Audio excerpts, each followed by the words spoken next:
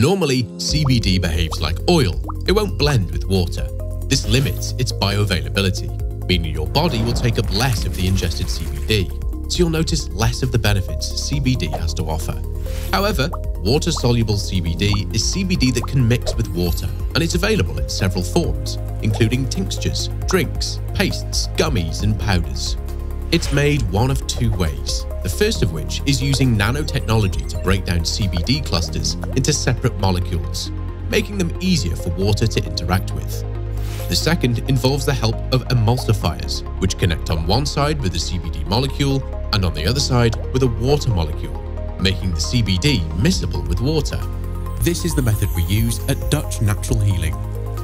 Water-soluble CBD has some cool perks. It usually tastes better than CBD oil, gets the most optimal absorption by the body, and offers more bang for your buck because less of it goes to waste. Dutch Natural Healing CBD Active Plus is water-soluble CBD that acts fast and lasts longer, combining premium hemp extract with our unique Bioactive Plus mix for complete absorption. Try it yourself and experience the difference of water-soluble CBD.